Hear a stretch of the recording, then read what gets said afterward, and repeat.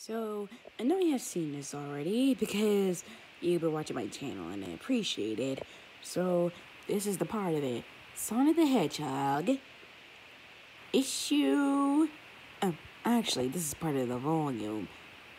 Volume 7. All or Nothing. To 25 to 29. Sorry with a face ship. This is the 25 part. Angel Island. A flying paradise hidden in the clouds, kept afloat by the power of the Master Emerald.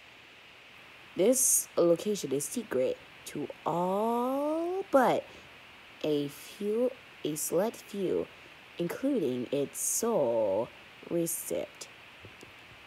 Knuckles. That looks like a restoration shuttle. Huh? Sonic? Uh.